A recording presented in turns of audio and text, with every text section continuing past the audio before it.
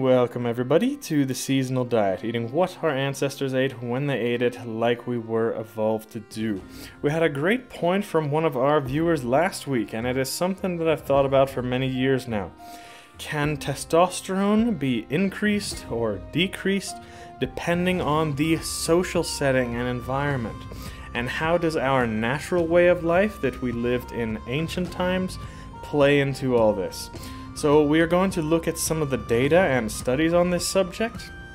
We know, of course, in high testosterone environments, you know, like prisons or sports teams, they can be hormone filled with testosterone spikes um, in general, but specifically during an event, a competitive event.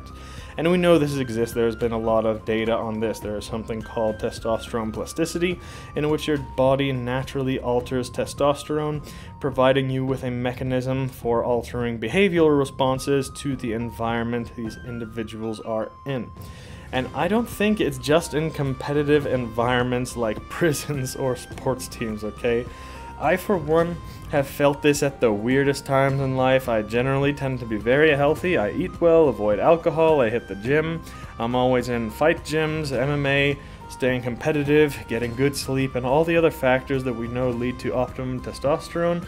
But even me, I often feel like my testosterone is low, sex drive is low, energy levels are low, even when I'm living at my healthiest. The strangest thing that I've felt in life is that I feel the best and highest testosterone when I was younger, living in Greece or in college, partying, drinking every day, eating like shit, barely sleeping. You would think that the unhealthy lifestyle would have made my testosterone in the gutters, but the truth is, I felt amazing, and just a whiff of perfume from an average looking woman walking by would have left me with a rock hard on sex drive through the roof, and my body stayed in good shape even though I wasn't even working out and I was eating like crap. I thought that it's just because I was younger at the time. I was 24, 25 then, I'm 32 now. But the opposite is in fact true because I go on a trip like this every summer where I do the same thing. I'm partying, going to festivals, being unhealthy, and the exact same thing happens a little whiff of some perfume and get boners. And I haven't done any testosterone levels um, on this, but I'm 100% convinced that the social interactions and environment that we are in play an even higher role on testosterone than any other thing or lifestyle change or diet that we can do. So, Let's look at some of the studies. The problem is that not a lot of these are done in humans, but I'm going to link these studies down below in the description if you'd like to read more. In birds, increases in testosterone have been observed following an aggressive contest or social interaction. Uh, and they can vary depending on the mating system. For example, there may be a pretty good increase in testosterone among flamingos doing a mating dance or a peacock showing off its feathers to get the ladybird, but there would be a much higher increase in birds that had a more aggressive competition or even a fight to see who won the women bird's affection. Okay, that makes sense. If we're, if we're in a competition, um, to get the woman. That is, okay, we know that has been uh, uh, in humans as well. We also know, though, from a variety of studies in humans and animals, that competition increases testosterone, but more specifically for the winner. Winning is definitely confirmed to raise testosterone, but even the loser in a good, healthy competition where people, you know, leave with their heads on, um, the fight will uh, raise your testosterone much higher than a dance off to find a mate, for example. But any competition seems to be a positive thing. It could be just something you tell yourself in your mind at the club, at a comp- little competition you have with yourself. Like every guy is trying to talk to this girl, but you were the one who got your number. That's a win for you. That's a win in a competition that's going to increase your testosterone. Also interesting what they found in some of these study is that in monogamous bird species, um, they displayed greater increases in testosterone. So, an environment where one mate chooses another mate has higher testosterone levels than environments where just everyone's having sex with everyone and sleeping with whoever they want.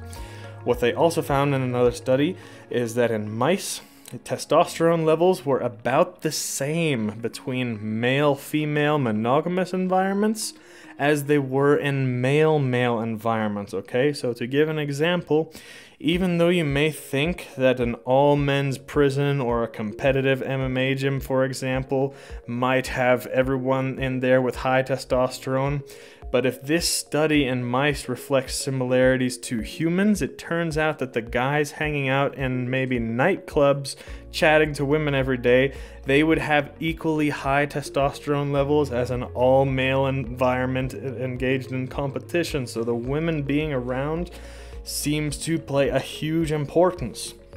And again, these studies are in animals, so we can't say the same is true in humans with complete certainty but I definitely have some experience, uh, and, and I think this to be true in life, I believe. I don't know, let me know what you guys think down below. I would have loved to see some varying factors in some of these studies, like uh, does the diet and lifestyle of the mice or birds have any effect? Were they lab rats fed crap, or or does diet have a big effect on testosterone too? I don't know. Those were not covered in the study. I'll give you one more study though, and this one is actually on humans compared to animals.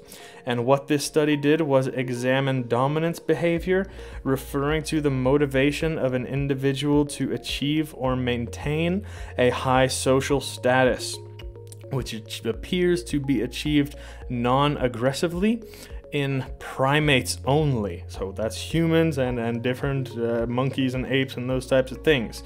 So there are quite a, a, a, bit more of these studies. I'll link them all in the, the description if you want to read. But to finish off, summarizing that last one, all male species have an inherent primal need to achieve a high social status. I'm not saying all men want to be bullies and rule over people like a dictator or a king, but every single man, every single male in this world, human or, or animal, they want to be respected and have high status in their community more than anything else. And in environments where that is prevalent, testosterone levels have shown to be higher. Now, in most animals, this is achieved through violence, okay, beating up other males in a physical competition. But in humans and also primates, the social status can be achieved through other means. Maybe you're a provider, maybe you're rich, maybe you're whatever, maybe uh, you're the best painter, maybe you're the best singer in your monkey tribe, I don't know, whatever. So, high testosterone uh, makes us aggressive and definitely competitive. These studies have linked those two this is just the natural way of the world, but it doesn't necessarily have to make us violent. There are other ways to achieve that social status. Like I said, you can make money, you could be the boss, you could be a coach or a leader or the best singer out of all the gorillas in the jungle, you can be the orangutan with the longest arms and the ladies like that. It doesn't matter, it just means you have to be respected in your community. Very important. All this together plays into how social interaction can increase your testosterone, and it turns out that ancient humans and their way of life they had it spot on for the most part. Closely knit communities, small tribes or villages, monogamous societies, competitive societies, males looking for status to be respected by those around them, so he will get the first choice of the best females is this lifestyle even possible in this day and age? It might be, but we see ancient humans had this naturally, but we really have to go out of our way to achieve this optimal environment.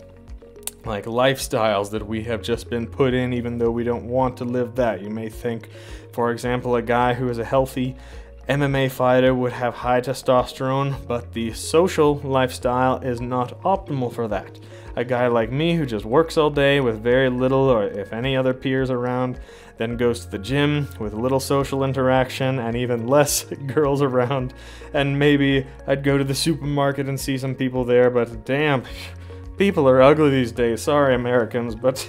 you guys are pretty ugly in general. I live in Denver now, but even when I lived in Los Angeles, I maybe saw one good looking girl a month.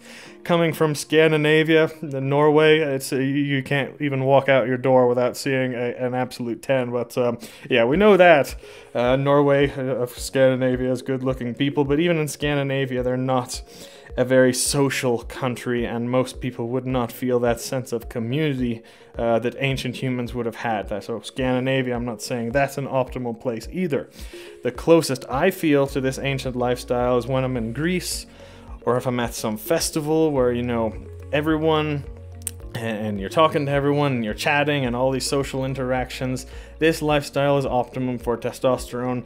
Of course, it's not good to be partying and drinking every day. We can't just go to festivals all year round, but to the regular guy, maybe trying to get maximum testosterone, maybe you are eating healthy, staying super disciplined, going to the gym, getting enough sleep and sunlight and all these good things it might help that guy to let loose a little and go out to a club or even once a week some event or just get the taste of that social environment that our ancestors did. So that's the best we can do today unless we really move off grid and create a tribe ourselves. But uh, yeah, let me know what you guys think. Do you guys feel this same increase in testosterone uh, when you have more of a social setting? You know, thinking back to high school or college or any any points in your life where you had a good social life. Um, let us all know down below. That's why I make these videos so we can figure these things out and uh, figure things out when the scientific community is not going to do studies on these things.